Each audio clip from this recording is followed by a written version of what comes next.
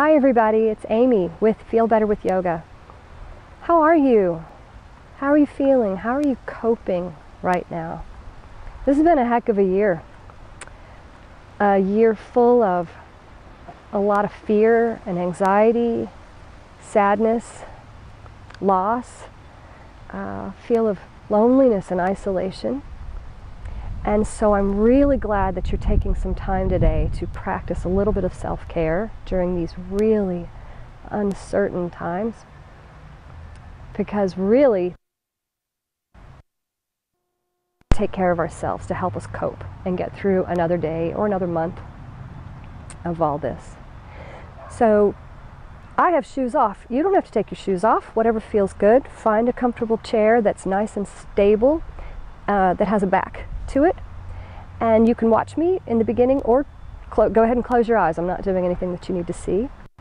So sit up tall, let your hands just fall and rest in your lap. Close your eyes. Take a deep breath in and let that out. Take another breath just like that and really notice what that feels like to feel the air rushing into you. And feel how good it feels to sigh all of that out.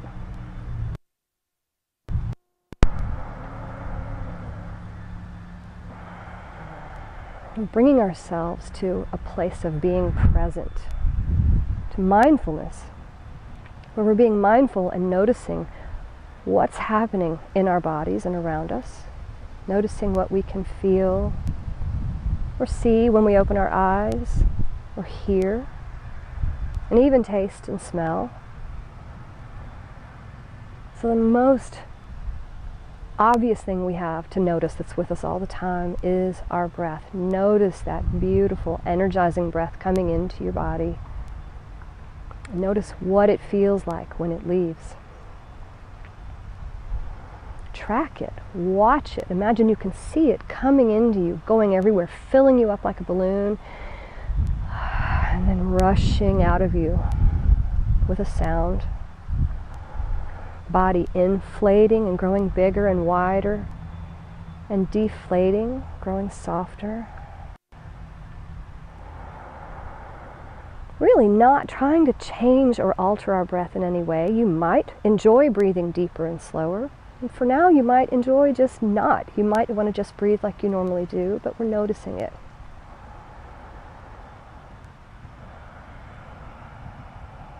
Bring your awareness to your body and the physical space you take up, the air around you that you're moving out. Feel the chair underneath you and how it's supporting you. Feel the bo- bones in your bottom pulling down into the seat and the backs of your legs pressing against it.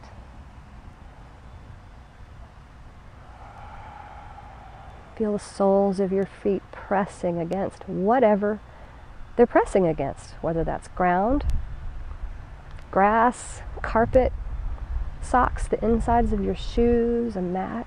Just notice what that feels like.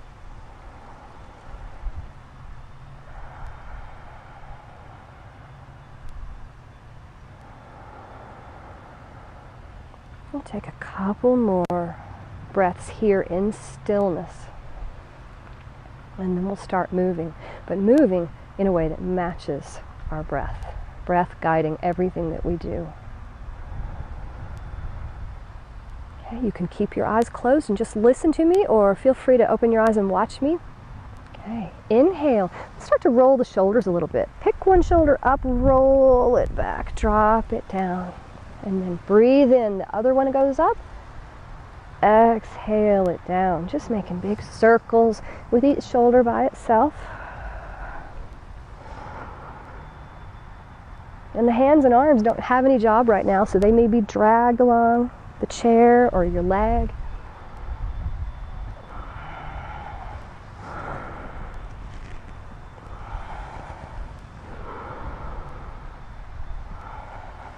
One more on each side.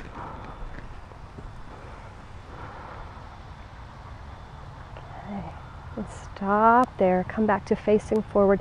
Let's tip our head over to one side, ear dropping towards the shoulder, not pressing or forcing, just letting it hang wherever it goes. Breathe in. Breathe out. Feel that giant stretch from the mus- in the muscle from the jaw all the way down to the shoulder bone or the collarbone. Pick your head back up and take it over to the other side. Deep breaths here. Every time we exhale, our body knows to relax and soften. So that's where the opportunity is to really get that self care, to really relax, to find a deeper stretch, to release tension in the exhale. Back up to neutral. Good. Now turn your head over to one side as though you're going to look right at whoever's next to you. Even bigger stretch here. And I'm feeling it right there in these muscles that get so tight and we get a crick in our neck. One more breath. Good. Look straight ahead and being careful as you turn the neck and go over to the other side. Ah. If you've got a crick in your neck in one side or the other, from sleeping wrong, maybe, uh, protect it. Be gentle with it.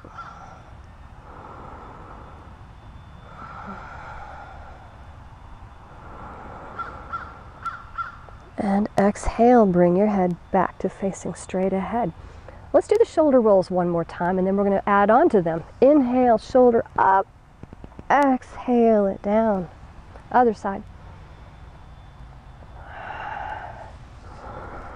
Notice where you feel this. This is all through your shoulder, but I even feel it down here in my rib cage a little bit, in the back. I feel it in my belly.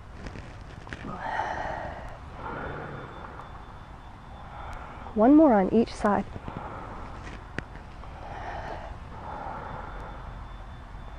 Good. Rest your hands in your lap, facing forward. Same thing again, but this time we're going to do the whole arm as though we're doing a backstroke. Inhale, arm all the way up. Reach it behind you. Exhale it back to neutral. Other side. Exhale down. Inhale up. So, one thing, now that it's October, I'm missing, as much as I love sunshine and the pool and beach, just being outside, I'm missing that. And so I'm imagining a lot about swimming. And this reminds me of doing a backstroke. One more on each arm.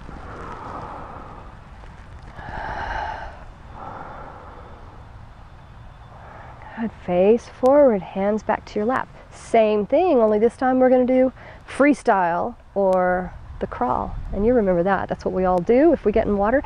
Inhale, arm back, reach it up and slice it through the water. Exhale, inhale it back and up. Exhale through the water, forward and down.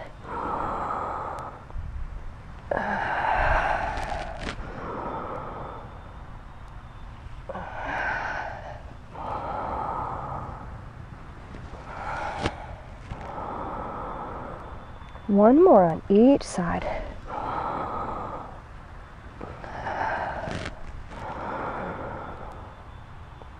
Come back to hands in the lap, sitting up tall. How about a little side stroke? First, we'll start out with just reach one arm over to the side like you want to touch the person next to you. Exhale, bring that arm back and do it again. Inhale. Exhale, bring it back. Do you feel all that work in your belly? That that's what's helping you not fall over and pull that arm back. Inhale. Exhale, pull it back. Now both arms. Inhale, exhale, hands together. So this is the side stroke. We're moving water.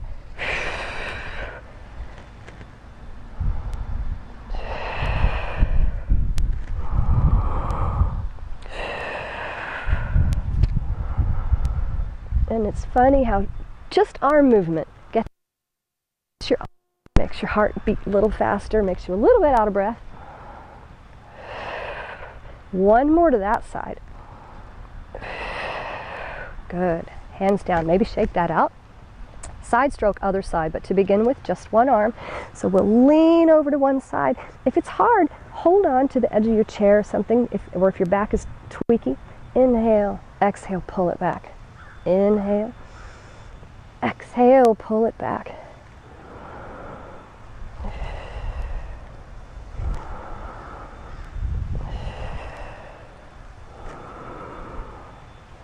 Okay, now both arms, just like a side stroke. Inhale, and then move the water with your arms.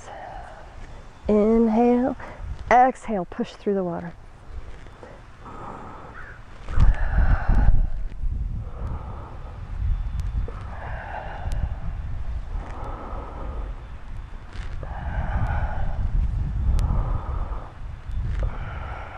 One more like that. Good. Phew. Okay.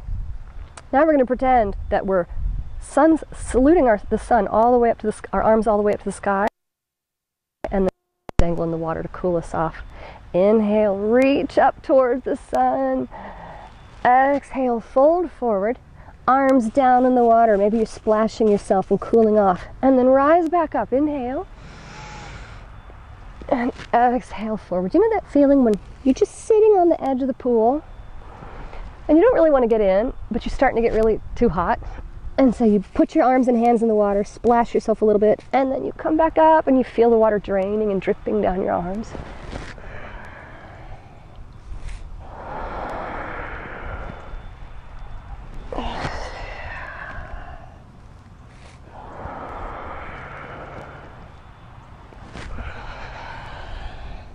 One more up and down like that.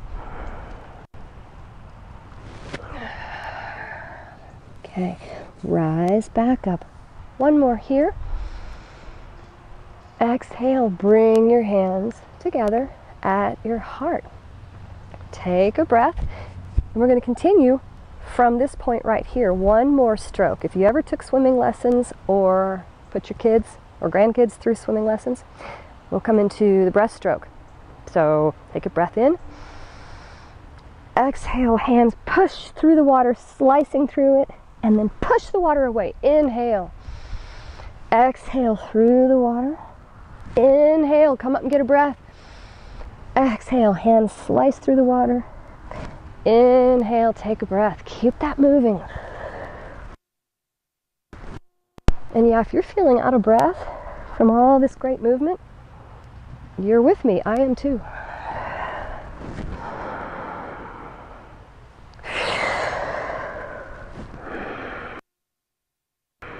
Sequence of that. Ah, hands in the lap. Good. That was a lot, huh?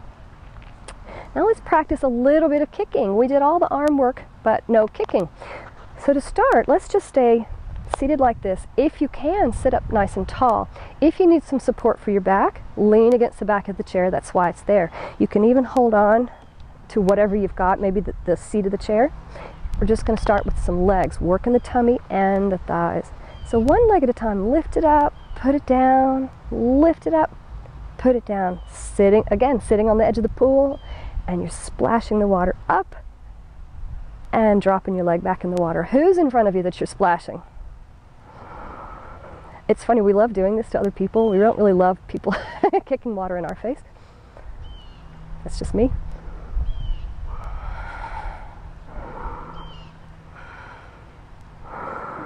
Keep breathing.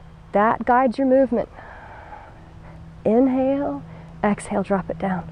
Inhale, exhale, drop it down. One more on each leg. Good, let that drop down.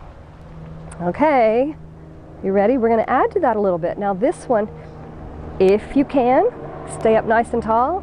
If you need the back of your chair, do that. Ooh, two planes. Sit back, and we're going to flutter kick. Whether you're a swimmer or not, you know this one. We're just kicking water. Somebody in front of us. How many kids' fights have you separated in water because of this move? Because this is what they're doing to each other. Oh, and my tummy's burning. This is burning. Keep going. If you need to rest, do. If you can keep going, keep going. Three, two, one, and stop. okay, bounce your legs around a little bit. Maybe give them a little massage right here with your hands.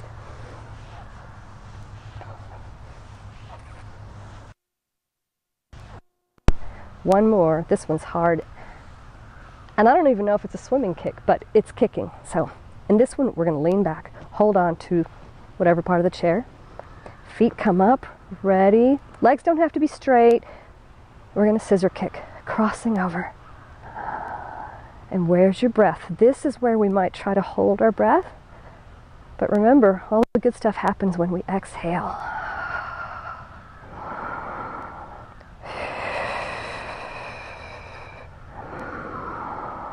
Ay, ay, ay, ow. okay, three, two, one, let it down. and that's so random. I don't know why I quit. Okay. So now we're going to come to standing. Stand up, come to one side of your chair. I think that's okay like that. Okay. Now we're going to pretend it really is October and we just want to dip our toes in the water and see how cold it is and it's pretty cold. So we're going to dip toes in the water and kick up and kick back. Standing on the edge of the pool just dipping our toes in and splashing water back and forth. If you need more than just one hand on the chair uh, adjust the chair so that you can have both hands on it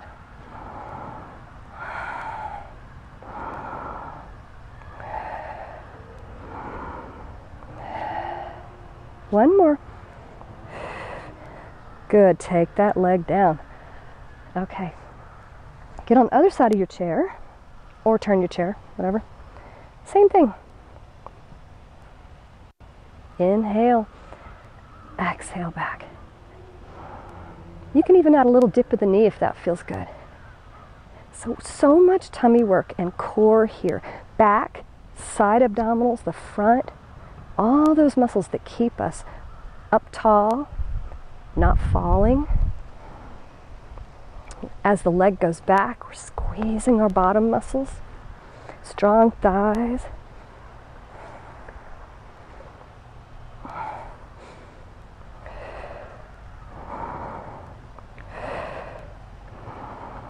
Last time. Okay, bring that leg down. Good. Other side of the chair. Actually, I'm going to turn my chair so that you can see me. This has nothing to do with swimming that I can think of, but downward facing dog, facing the chair, hold on to the back of the chair, and without rounding the back, we're going to keep the back as straight as we can. Walk the feet back to wherever they will comfortably go, holding the chair, and let yourself bend forward long, strong spine. And we're also stretching the backs of the legs from the hips all the way down the legs and the calves. Straight legs or not straight. Bend them, march them in place. Do what feels good. All the sensations we have in our body are there for a reason. They're there to tell us something. So move in a way that your body wants to move and be sure not to move in a way that your body is sending you signals about saying, hey, that hurts, that's not good.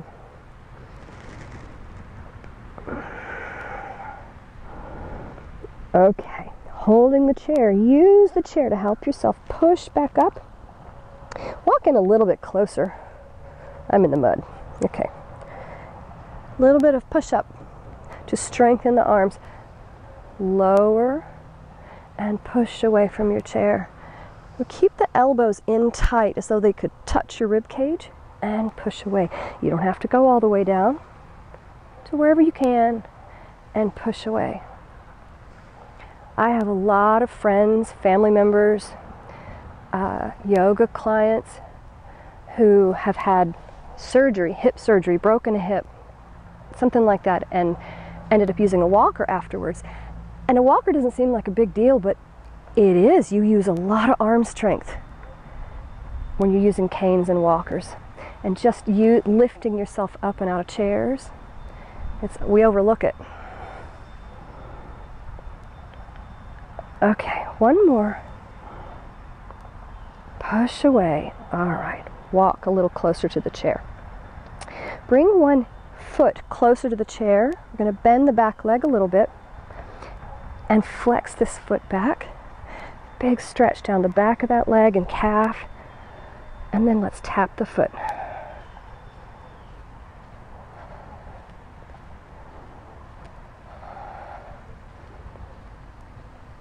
And then with the foot pressed all the way into the ground, just stay right there, stretching out the shin. Okay, and switch. Come up out of that. This is Houston. We have fire ants. I got to make sure where I put my feet. I'm, I'm looking at a little suspicious pile right there that could be ants. I don't know. All right, bend the other leg, other foot forward, and stretch the back of this leg. Flex the foot back to wherever you need it to go.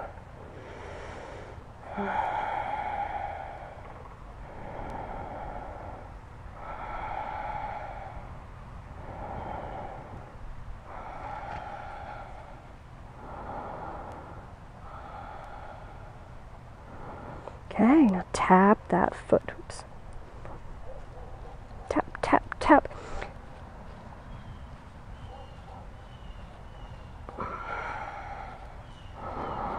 And then leave that foot pressed down into the ground, really stretching the shin and the top of the foot.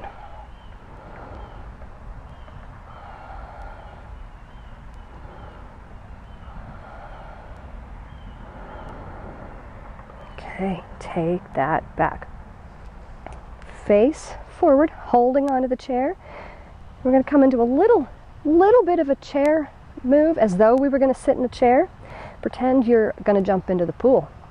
And now, I was never one to enjoy jumping into the pool, ever, even as a kid, and especially off the diving board. But we're going to bend the knees, squeeze tight, strong thighs, strong bottom, and then jump. And maybe jump only comes to standing up, maybe even go up on your tiptoe. And then get ready to jump again. Ready? Edge of the pool, hold it here, breathe.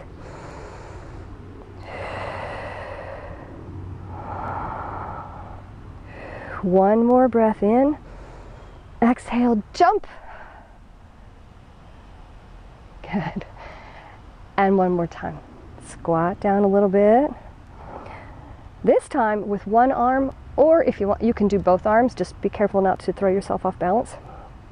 We'll jump up and lift our arm up. One more breath. Breathe in. And exhale, jump and come back down. Shake that out. Okay, now that we're standing just like this, holding onto the chair, let's stretch out the front of this leg. See if you can reach back and hold on to your heel or your ankle and stretch out the front of the leg. The leg doesn't have to go all the way back. Wherever it goes to, maybe here you're already feeling it. That's okay.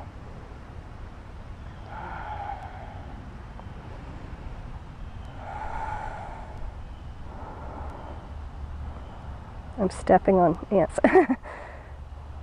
okay, let that down. And do the other one. You just do it where you are. I got to turn so that you can see me.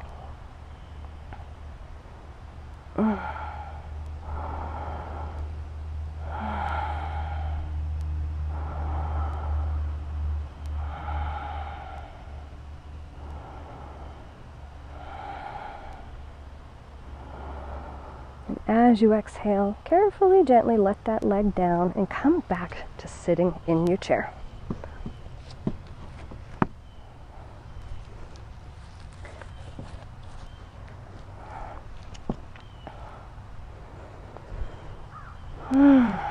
Close your eyes, sit up tall, rock a little bit, find your balance in the chair. Feel the chair supporting you, holding you up.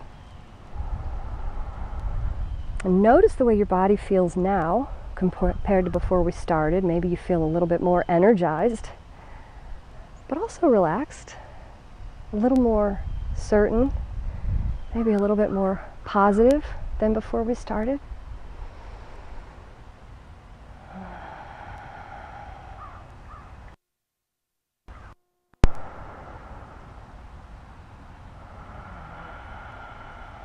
There's a saying life is not about waiting for the storm to pass, life is about learning to dance in the rain.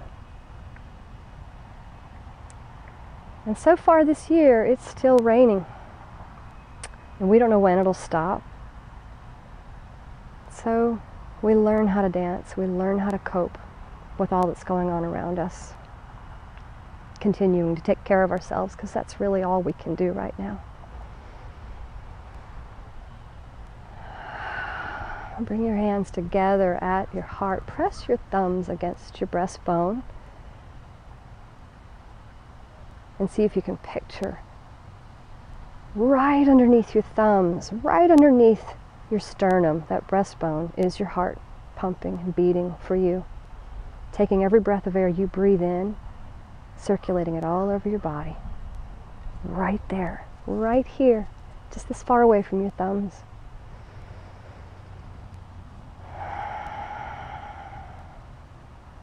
And take one last breath before you go back out into your day and whatever the day holds for you.